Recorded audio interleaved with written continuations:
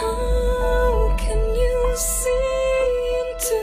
my eyes like open